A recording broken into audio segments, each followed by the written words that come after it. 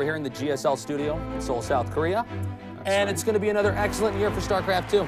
This is a brand new start to WCS, resetting all the points. Everyone starts from zero, and we're going to see who will be the world champion this year at BlizzCon. That goal is absolutely everything. Accumulating those points, making sure that you are victorious uh, on all of these stages across the year, just so that you can get to BlizzCon. Never mind win BlizzCon. Uh-oh. Oh my god. This is going to get really, really bad. MC has made a lot of mistakes.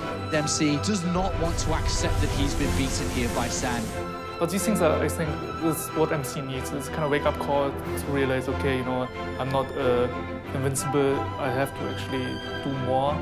You get another whole level of problems pop up when you get older as a pro gamer. Because you have to think about what you're gonna do after the pro gaming life.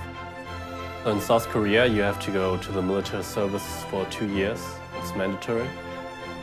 Someone's dad wants him to be a priest. His country wants him to be a soldier. All he wants to do is actually just go to BlizzCon and be this champion one more time. They've got to go out there and do it. Otherwise, they're just the next guy that gets tossed aside by the team. And in three months from now, no one in esports even remembers who they were. They're done. They're gone. It's brutal. This is the pinnacle, and you have to perform. No one remembers who came in seventh or eighth place. You finally arrive. Considered one of the best in the world, one of the best hundred in the world, maybe. But actually, it's barely begun because then you have to start winning. There is nothing else inside their minds other than getting to BlizzCon because that's how important BlizzCon is.